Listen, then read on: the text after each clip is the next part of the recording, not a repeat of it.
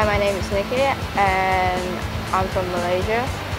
I've been studying foundation course and diploma of science with PIBT for a year and a half and now I'm currently ECU student and studying Bachelor of Science Nursing.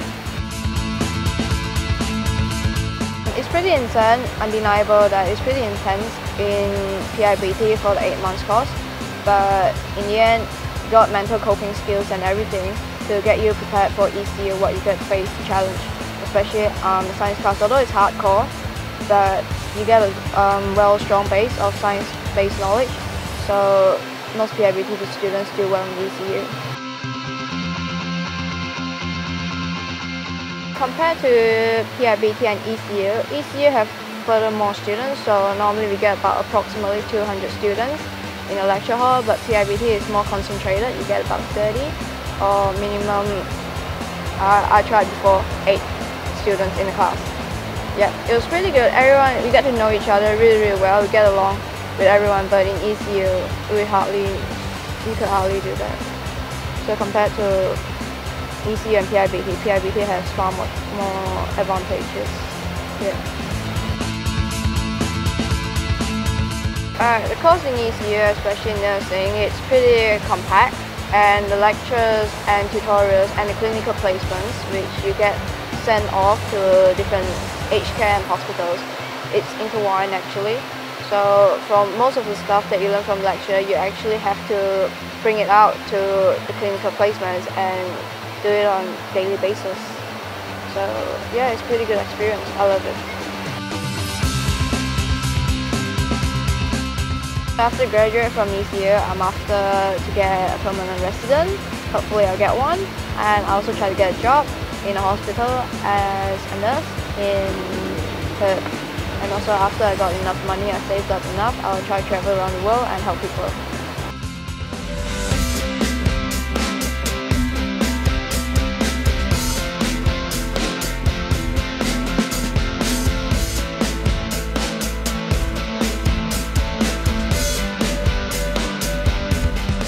I'm Paresh Rabadia. I'm from Nairobi, Kenya. I've been here in Perth for around two years now. I came here to study and then look for a part-time job or a full-time job in an IT environment. My passion was studying in IT, learning computer network, mainly Cisco and Microsoft servers. And I started my course with the PIBT over here in last eight months, I think so. The key benefit of PIBT, I saw they've got a wide variety of services, sort of e-labs, the computer labs, and the lecturers they've got, they've got trained, well-staffed lecturers. The non-teaching staff is well-trained. That's what I liked about PIBT. Whenever we wanted some help through the non-teaching staff or the lecturers, we, would, we used to get help immediately. And the lecturers were good at PIBT. The key advantages of that was that they usually had 20 students in per class and even the tutorials used to be only 20 students per class.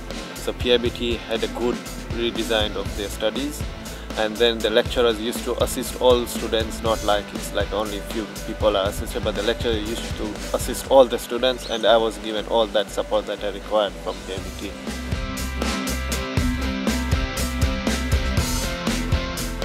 Uh, the course was quite interesting. The lecturers that I found were quite energetic to teach that certain topics and then give research work on that. They used to help us on the researching the new technologies that are coming up. The lecturers were up to date technology, so it was quite interesting in learning all those stuff from PIBT lecturers.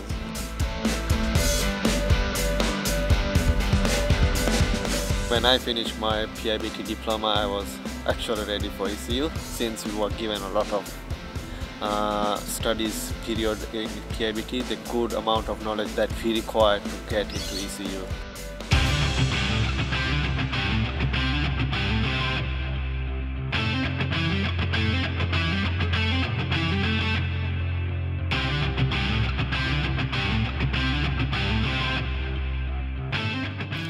Uh, 我叫陈俊杰，来自中国上海。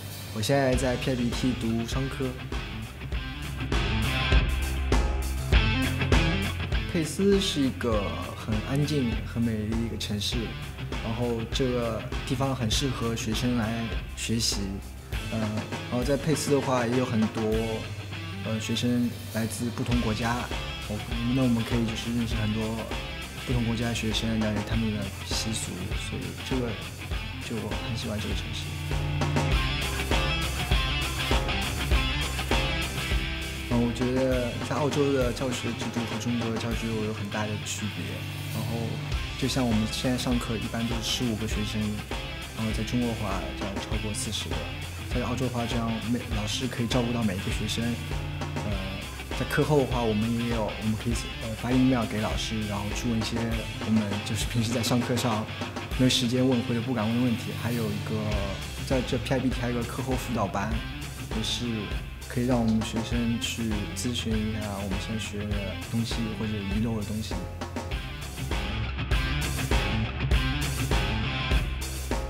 我觉得 P I P 的呃硬件设备还是挺不错的，他们有他们自己的一个图书馆，还有一个电电脑阅览室，然后平时我们都可以去阅览室那边去写作业啊，然后图书馆的话，我们也可以，我们有个 student 卡学生卡可以去借书，就省去很多买书的费用，这样挺方便。嗯，我念完 P P I P T 以后，我会去 E C U 继续我的大学，然后两年以后大学毕业，我可能会在 Perth 找工作。如果这里有好的工作的话，我会选择留在 Perth；如果没有的话，我可能回上海生活。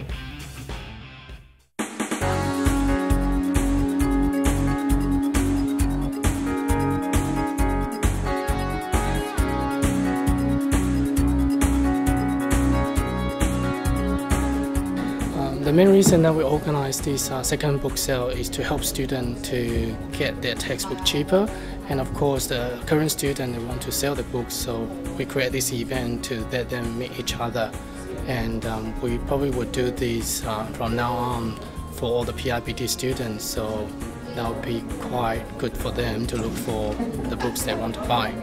I think the event is really good. It's helpful for the students that need to sell books and students that need to buy so yeah, I think they should keep on doing it. After I sold the book, I actually met another Nigerian and we spoke a bit about the amount of Nigerians in Perth and stuff like that. But yeah, we had a bit of a conversation outside book sale, so yeah, it was pretty good. Um, well, the event is quite nice because uh, it's really organized. The lecturers have, uh, have come up with a good list of books we need to buy and all that. And uh, we have uh, quite a, a, good assistant uh, team who are helping us to look for the books and the sellers. So so far I have two books and I'm looking for one and I'm sure I'll have it by the time I leave because I have a good helping team here at PIBT.